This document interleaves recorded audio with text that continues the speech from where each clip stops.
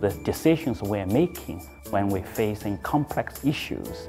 We will discuss, we will be transparent, we will share our values, and we will have the ultimate goal of you know, asking whether this is the right things to do.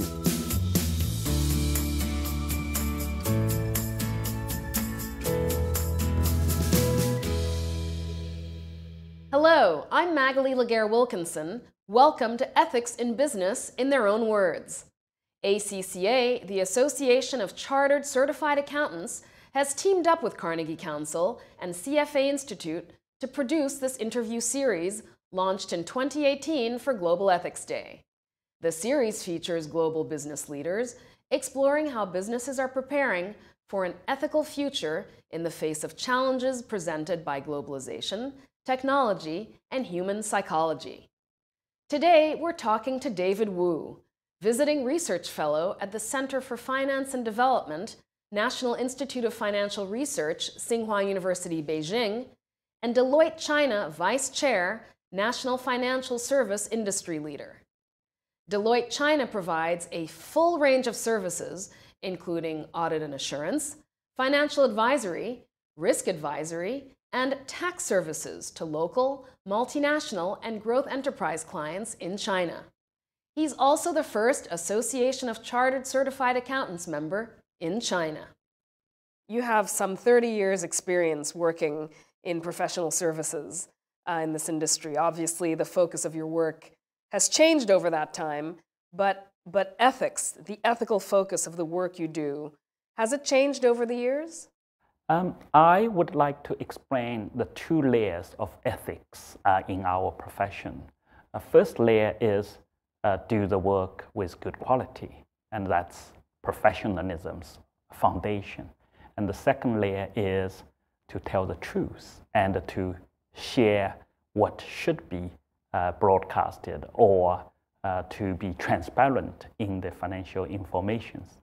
So in these two areas, to do work with quality and also to be transparent and have the courage to share whether it's a bad news or the truth you know, of the story behind the numbers. This has never changed.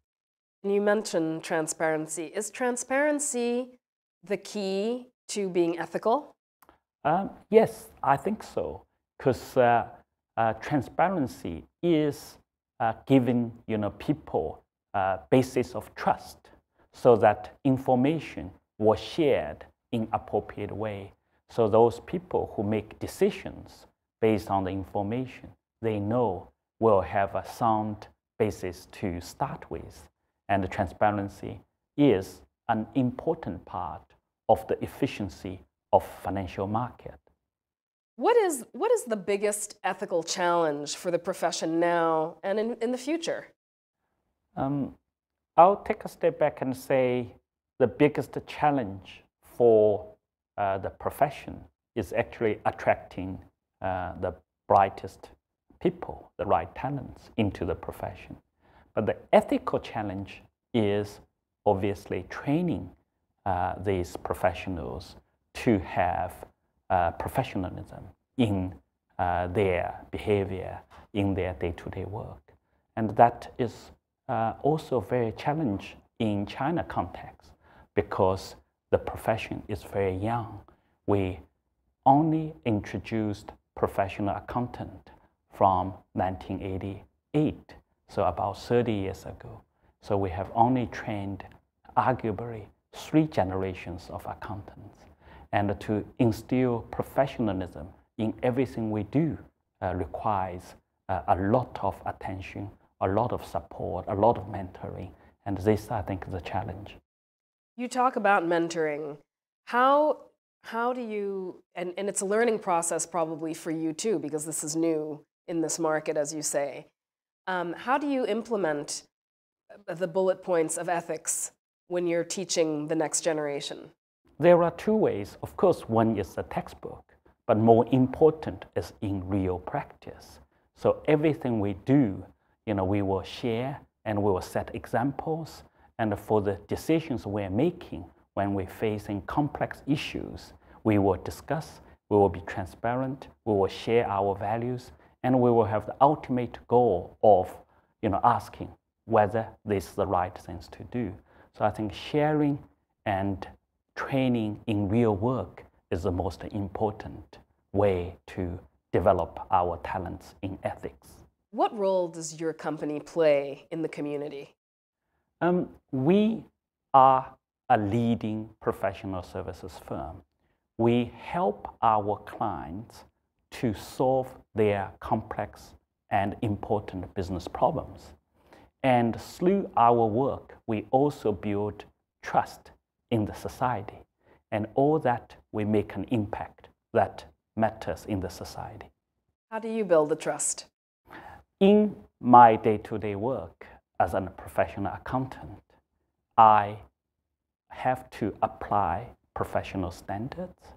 I am very conscious of having an independent mindset, and I have the courage to uh, share you know, these uh, informations with the right stakeholders.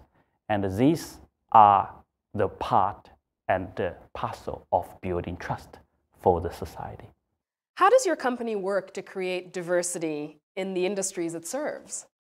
Um, the diversity, uh, there are more issues, but fundamentally it comes to the concept of inclusion. We embrace in talents. Uh, my personal challenge to share, as we discussed so openly, is actually to treat women with equal respect and also give equal managerial opportunities or responsibilities to female. Because I came from an environment where my mother was not allowed to eat at the table as the men eat. So my mother and sisters, they eat in the kitchen. So I grow you know, in a situation that uh, males are the people who make decisions. In my leadership development, I was diagnosed as a little bit you know, lacking of consideration for female talents. And the female talents in professional accounting world are big part of talents. They work well in the situation, provide uh, good solutions you know, to complex issues. So I was uh, asked to actually attend training courses. And uh, then I realized I'm, you know, uh, I have these shortcomings. So now I have actually particularly becoming a, a, a friend of some female leaders.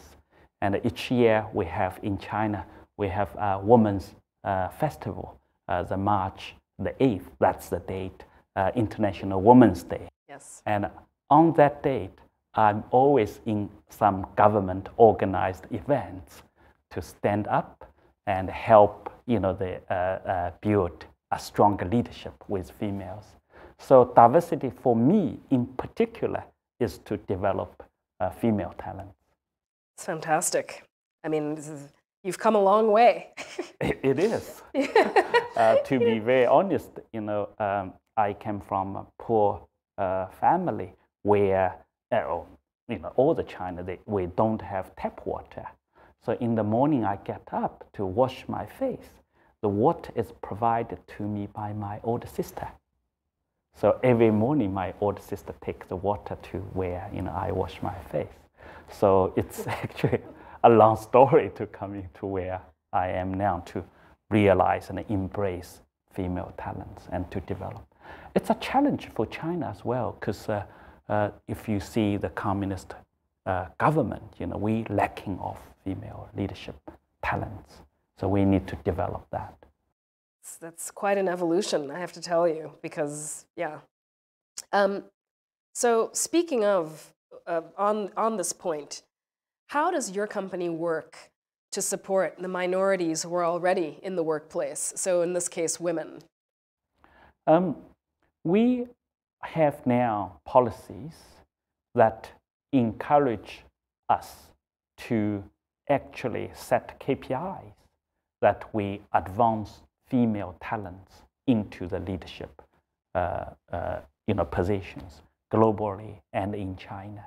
So at this moment, I think we are doing uh, very well and we identify uh, female talents where we give them more uh, coaching and also by providing more flexible uh, working hours to allow uh, talented you know, female leaders to go uh, pursue what they want uh, in their life and then coming back to work as professional accountants.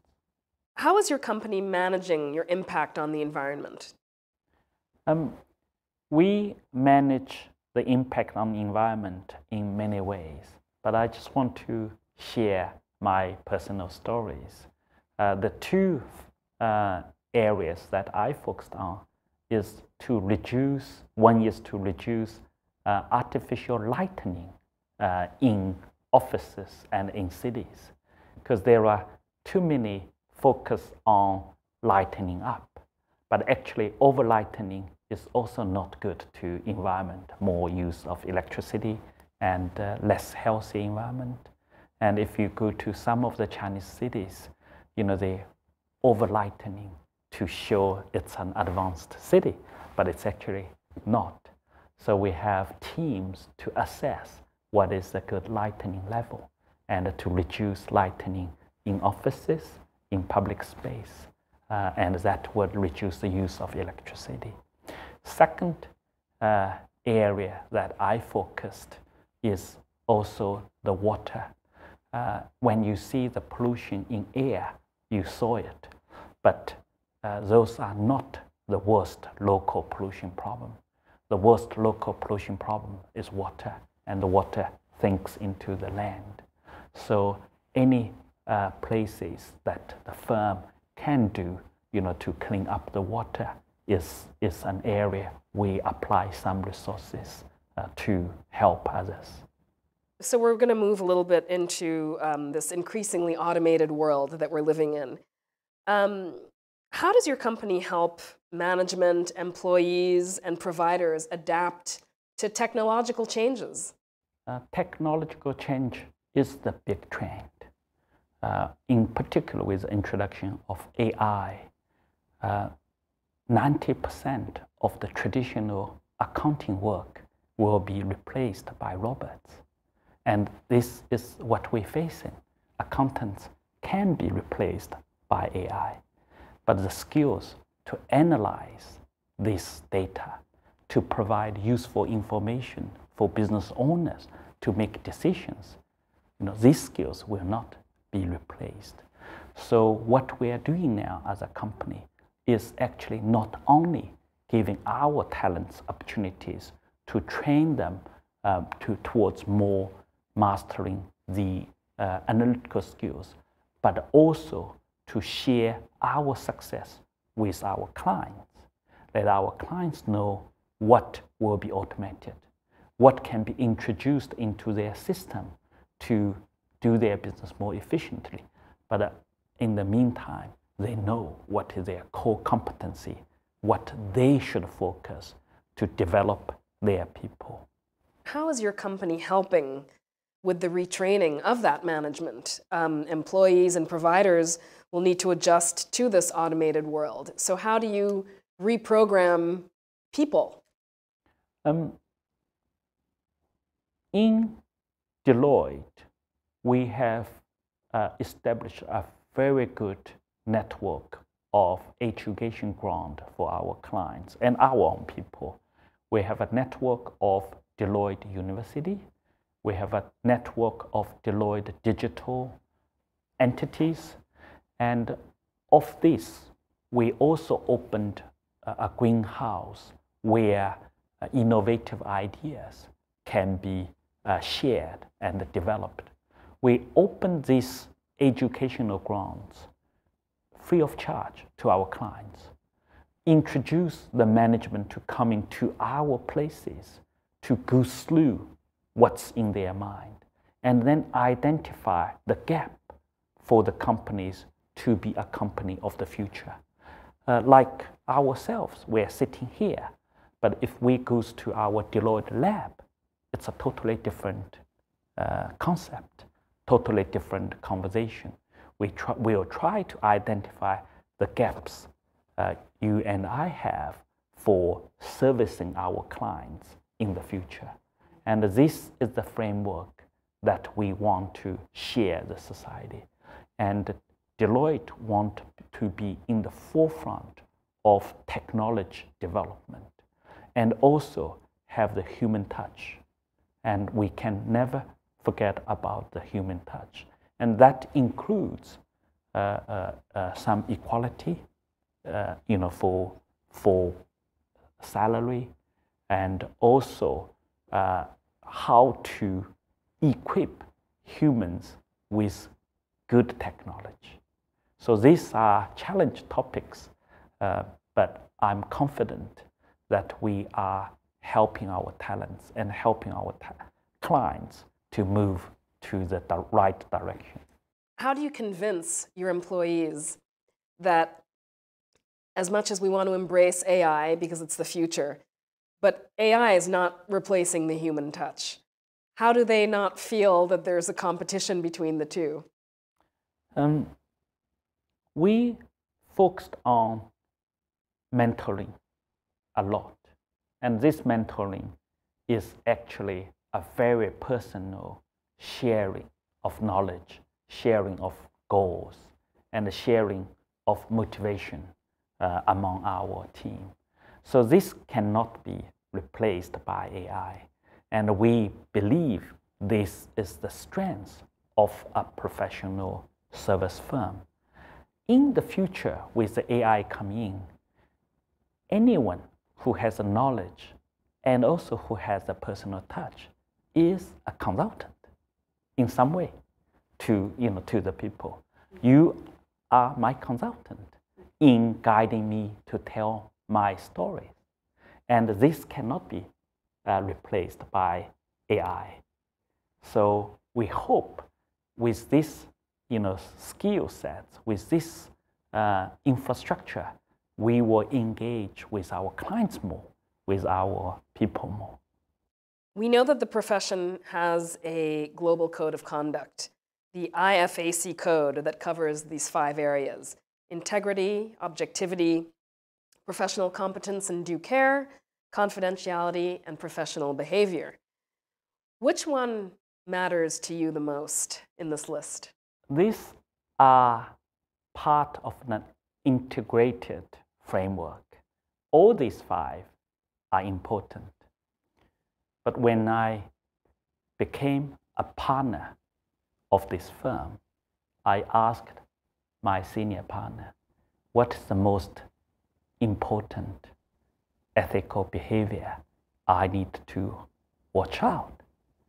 And he said, confidentiality and also don't take advantage of the information you have. Every day, I will receive phone calls from clients. They may going to buy another business. They may going to invest a huge amount, you know, in some new technology. Companies gets to be merged and separated. In all these activities and transactions, if I want to profit for myself, I will be able to do that. But that's against my professional standard. So to remain independent as well as to refuse the temptation that's there, it's a very challenge part uh, for the professional accountants. And I think to build efficiency of capital market in this part of the world, we should always focus on integrity and also not to take advantage of the information the insiders have.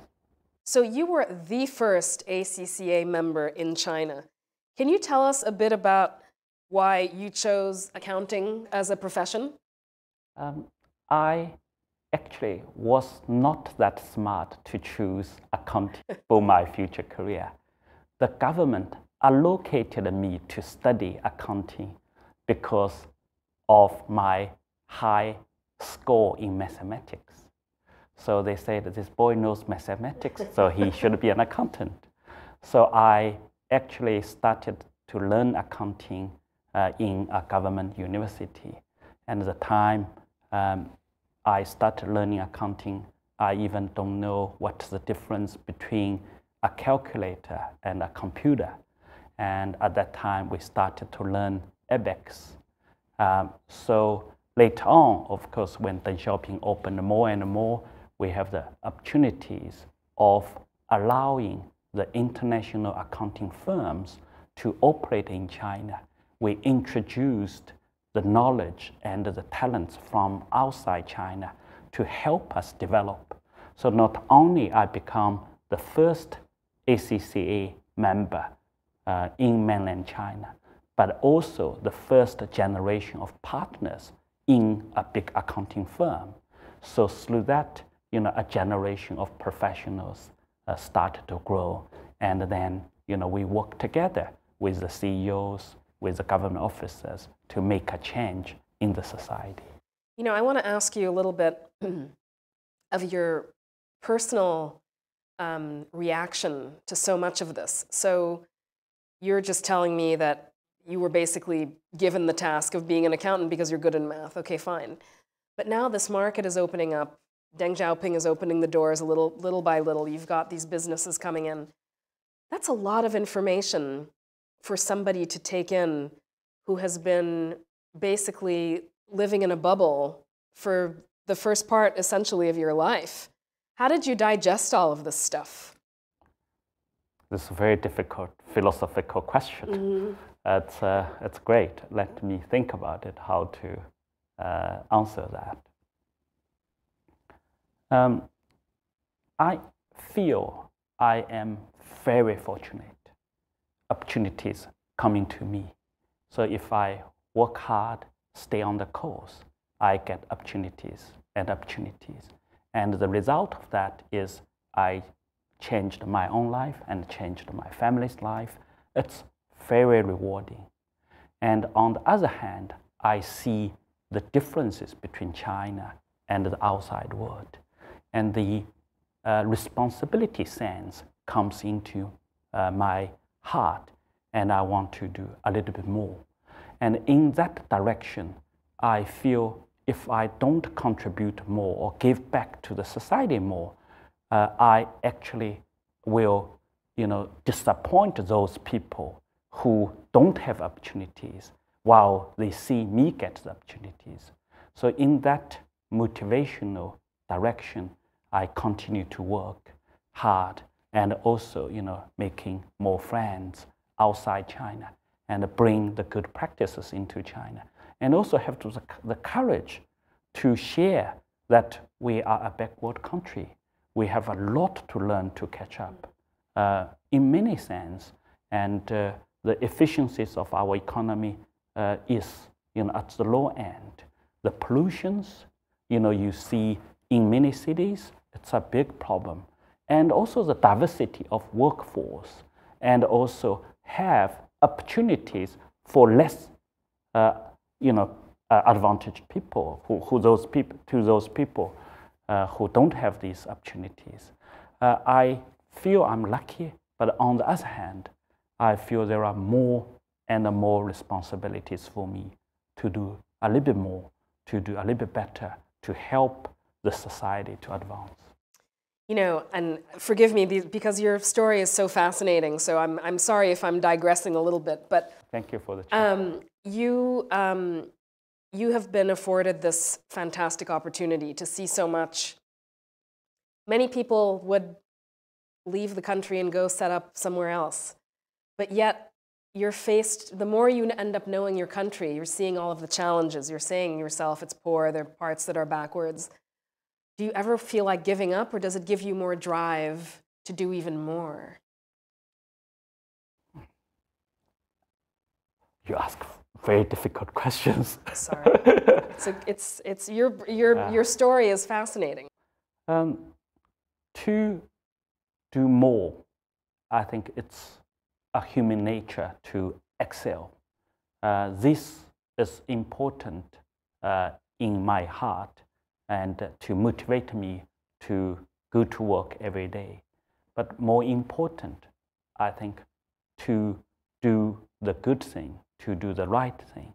And through those small efforts to see the societies changed, to see the people, you know, you make impact on them, it's very rewarding.